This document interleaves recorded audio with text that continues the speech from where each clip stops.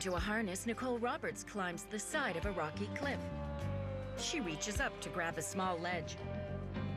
That's good, Nicole, but could you try making it, uh, a little more dramatic? Sure, boss. How's this? Very nice. Jonah very videotapes nice, but, from uh, above. Could you furl your brow a bit more or something? You don't look intense enough. Give me a break, Jonah. Well, you don't want it to look too easy. Do you want to trade places? No, it's okay. What's that? Jonah records a white light streaking across the sky. Dr. Grant Roberts drives an open Vancouver Aquarium Jeep across a bridge into the city. Grant leaps from a harbor air chopper onto the deck of a boat. Danger Bay.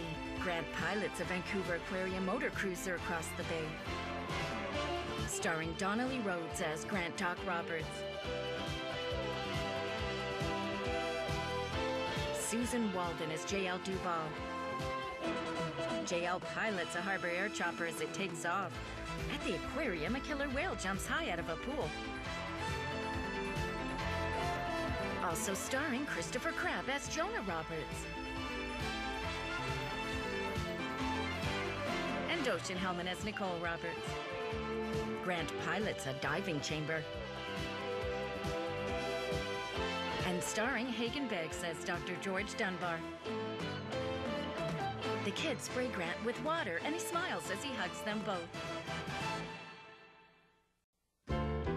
Catch a Falling Star. Guest stars Marushka Stankova and Anthony Sherwood. Written by Glenn Norman. Directed by Alan Simmons. In the Roberts kitchen, after frosting a cake, Grant shows it to JL. There. A work of art. Oh, a masterpiece. Hmm. Hey, JL fingers some frosting. It had to be a meteor. If it was a satellite, I'm sure we would have been warned. Oh, hi, just in time. Well, I thought you could only see meteors at night. how did the climb go? No, if they're big enough, you can see them anytime. What are you two talking about? The meteor, or whatever it was. Where? You guys didn't see it, huh?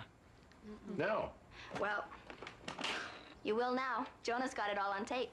Oh, great. Let's go take a look at it. I'm gonna give Dr. Ivanova a call at the observatory.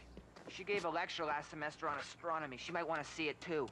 The others have left. I gotta stop talking to myself. Later, the video plays. It's amazing. Your tape changes everything. That's great. Thanks, Jonah. Dr. Ivanova, do you think the meteorite survived the passage through the Earth's atmosphere? Oh, yes, quite sure. From Jonah's tape, we can see that the fireball dropped below the horizon behind the mountain. We should show the media this tape. Oh, please don't. Why not? Am I the only one you have shown this to? yeah.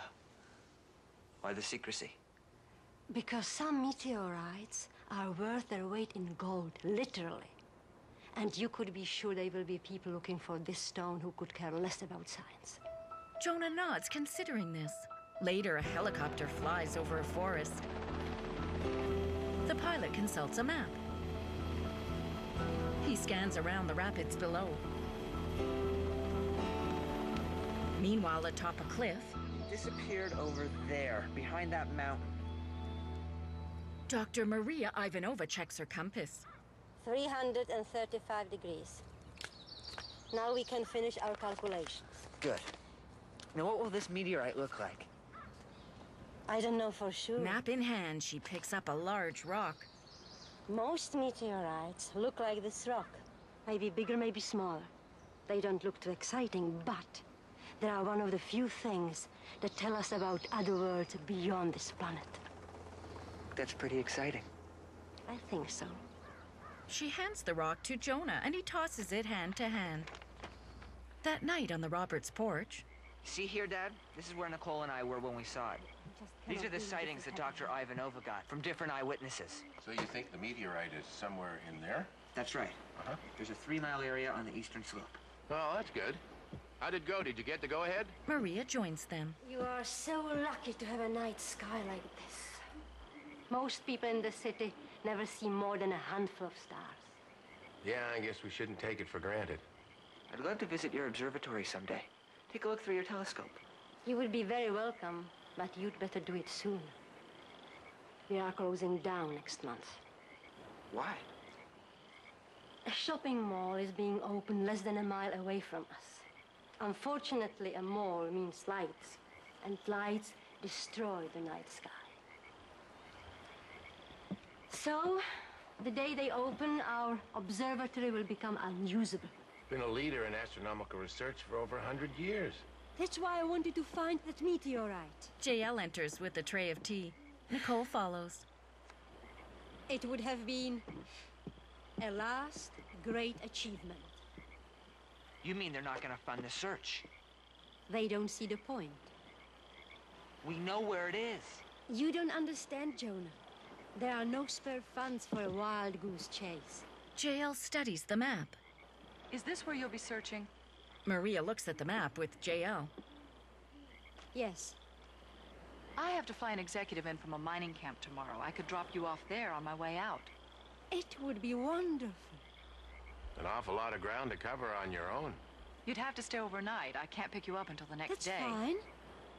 I'd love to help you, Dr. Ivanova, but I have to work tomorrow. I have a few days off. I could give you a hand. Thanks, Joan.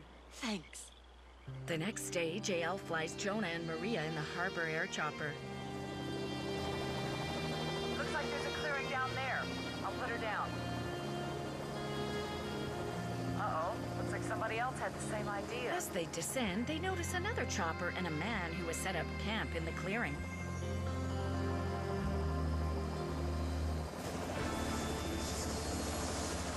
Steps forward and watches as the chopper touches down. It lands on a rocky clearing. Jonah emerges from the back of the chopper and heads around to the other side. As he opens the baggage compartment, Maria gets out of the cockpit, securing the door behind her. When she goes to help Jonah, she notices the man who gazes back at her intently. JL lifts off straight up into the air.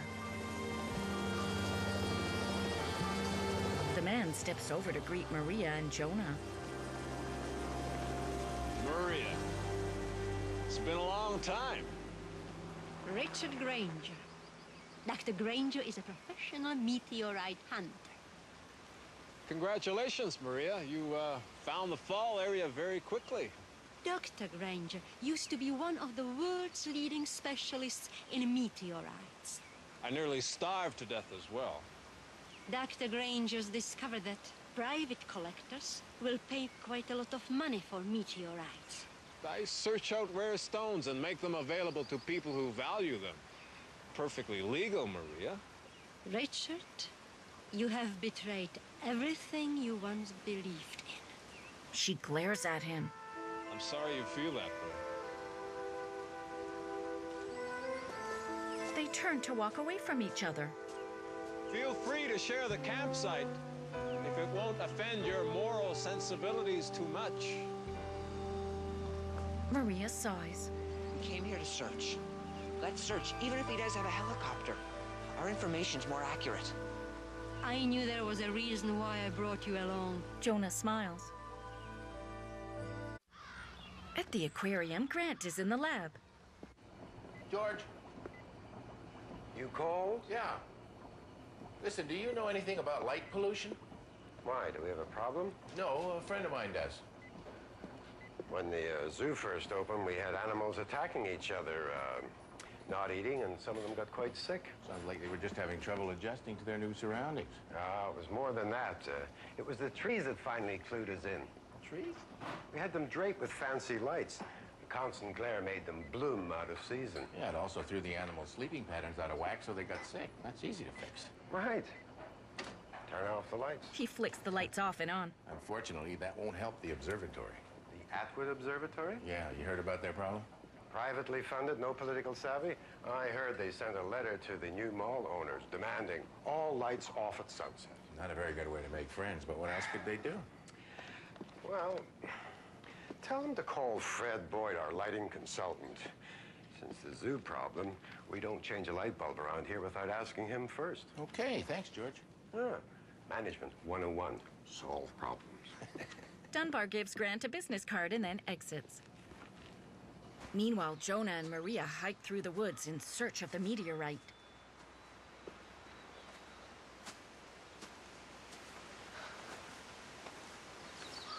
This is a lot like searching for a needle in a haystack. I don't understand why we haven't seen any broken trees. Some sign of the meteor's pathway. Yeah, well, we will. And at least we have the edge on Granger. He doesn't know to search on the eastern slope. Ha! You are right. Let's search for another hour. They continue onward. Meanwhile, Richard flies his chopper over the woods.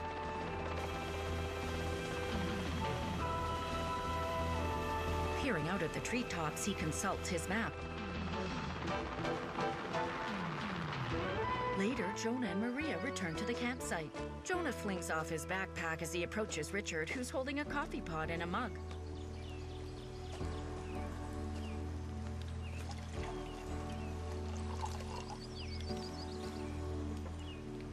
Coffee?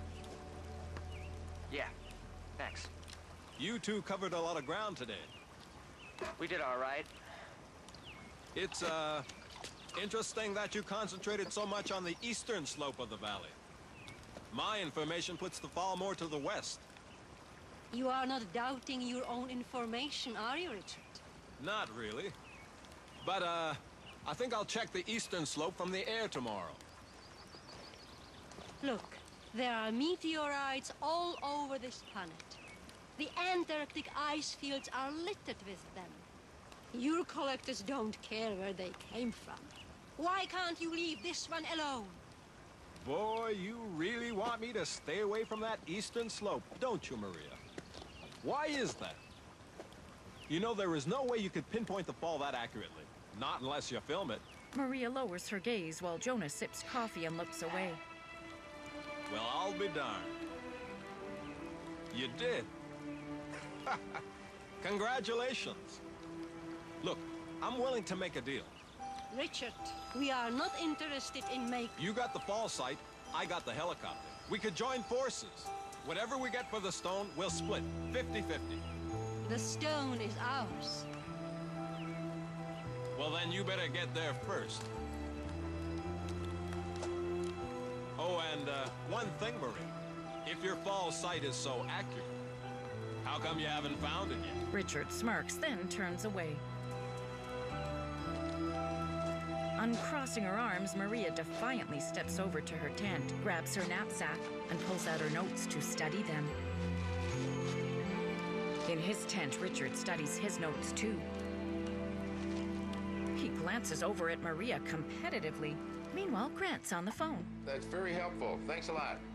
Any new light been shed on the situation? I hope not. It all depends on whether the mall's lighting contracts are finalized. If not, the lighting consultant is working on something that may give everybody what they want. Well, there's a few fences have to be mended first. Nobody likes to be told how to run their business. You're right, but suppose the observatory finds the meteorite they were looking for. That would create a lot of excitement, wouldn't it? Absolutely. Everybody's been talking about it. And suppose the mall could announce to the world they'd solved the lighting problem and saved the observatory. They'd cash in on a lot of free publicity, wouldn't they? What do you think? I'm getting worried about you, Grant. Why? Dunbar taps his head. You're starting to think like me. Thank you. They exit the aquarium, turning off the lights behind them. The next morning, Richard emerges from his tent fully dressed. Gazing up at the sky, he puts on his jacket, then walks across the campsite.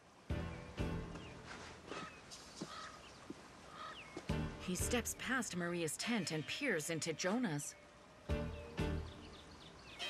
He then kneels beside Maria's tent.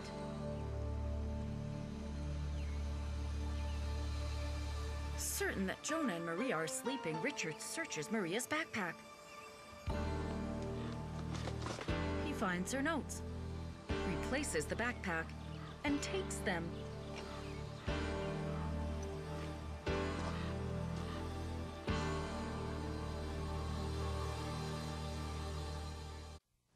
Richard sits outside his tent reviewing Maria's notes. Jonah emerges from his tent and approaches Maria. Good morning. Maria frantically searches her backpack. So where are my papers? What's going on?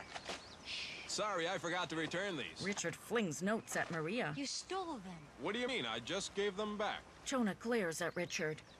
I don't believe you. All's fair in love and meteorite hunting. Besides, you would have never found it anyway.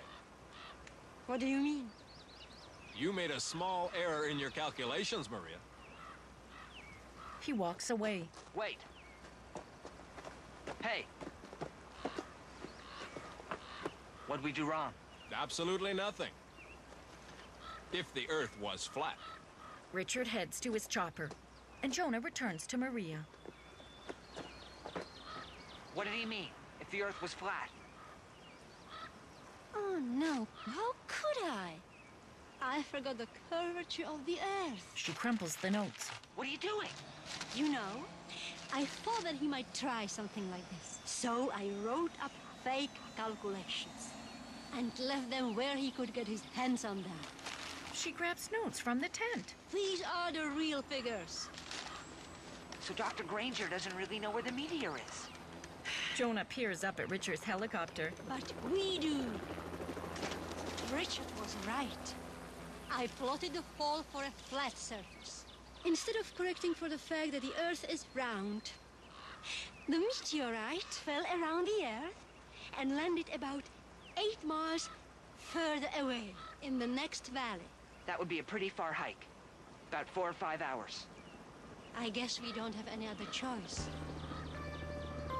Maria looks up and sees JL's chopper approaching. They rush to greet the chopper. We might make it yet. Good timing, JL. JL gently lowers the harbor air chopper to the rocky landscape.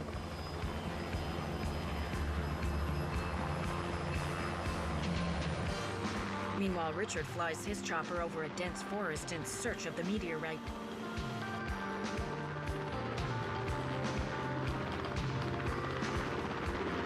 In JL's chopper, Maria reviews a map with Grant. So this is where Granger's looking, and the real fall site is over here? Four miles away, but we can still get to that meteorite first. Well, if we do, we could save the observatory. What do you mean? I talked to the mall manager last night. If he can tie into the publicity when you find the stone, he's willing to make a compromise. What is he going to do? Turn off the lights? No, but he would consider changing to low-pressure sodium lighting. How would that help? Our lighting consultant tells me that that kind of light can be screened from a telescope by using a simple filter. Grant, you have no idea what this means to me. Well, don't thank me yet.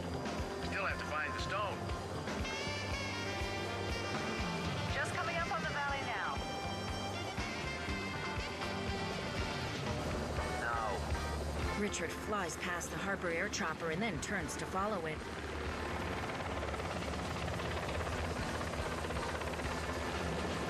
Can you lose him? JL grins. Hang on. As JL picks up speed, Richard follows in hot pursuit. JL veers to the right and Richard sticks to her.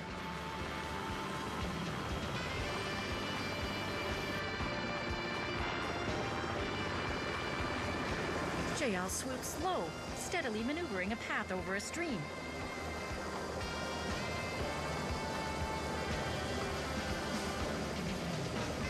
Richard races his chopper, sticking to her tail.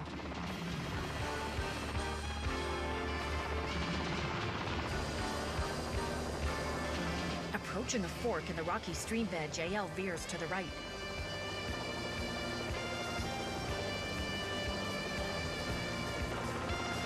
She veers away from the stream and arcs upward. Richard follows close behind.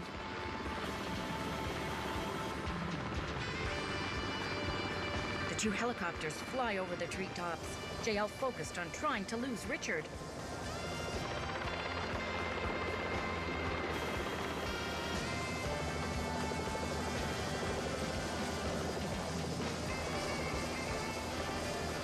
She zooms over a mountain. Then she swoops down through a valley, carefully navigating the rocky terrain as Richard follows closely.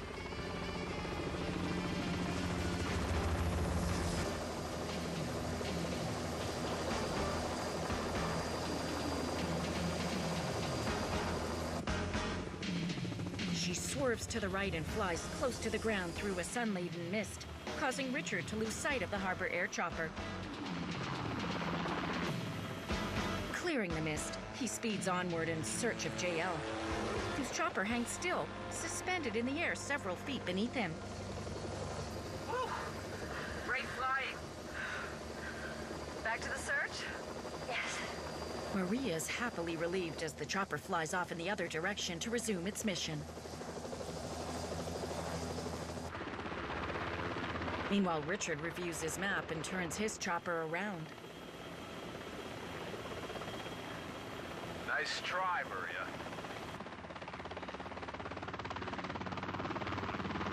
Soon after, the harbor air chopper flies over a long path of fallen trees. That must be it. It sure is. I'll put her down. JL slowly lowers the chopper onto a flat, stony landing strip.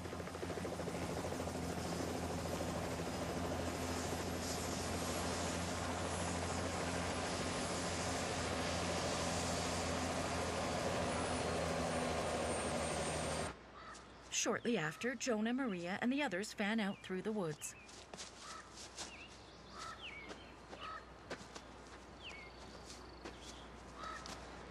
Jonah spots a broken tree. Over here.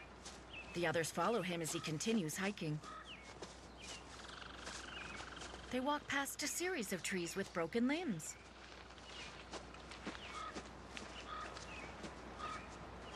Reaching the clearing, they find Richard casually sitting on the meteorite, reading.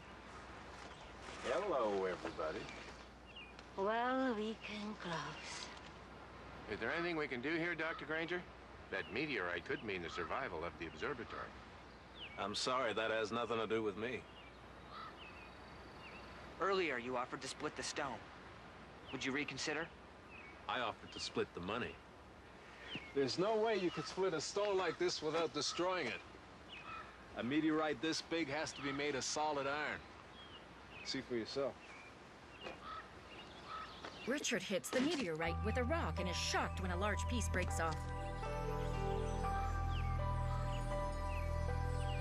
Maria and Richard examine the stone closely. It's carbonaceous chondrite. A Genesis stone. They share a knowing glance, and Richard runs his hand over the stone. This meteorite is a sample of the original material our solar system is made of. It's a piece of creation. There have been fragments found before, but never a complete stone. Maria takes the broken piece of stone and lays it on top of the other. Congratulations, Richard. You are a rich man. I don't know, Maria. This stone is too valuable to science. Why don't you take it? But it's your find. Why don't you two share the discovery? After all, in a weird way, it was a cooperative effort. I like it. What do you say? Partners. Richard grins and Maria shakes his hand. Executive producer Paul Saltzman, supervising producer Harold Tichenor, post-production producer Paul Quickly, executive story consultant Ann McNaughton, supervising editor Stephen Lawrence, production manager Gordon Mark, story editor Donaline Saul, editor Pia Di Ciaula, music by Don Gillis, executives in charge of production CBC Deborah Bernstein, the Disney Channel Victoria Fraser. Special thanks to Vancouver Public Aquarium, Corporation of the District of North Vancouver, British Pacific Properties. Produced by Danger Bay Productions Incorporated. Copyright 1988.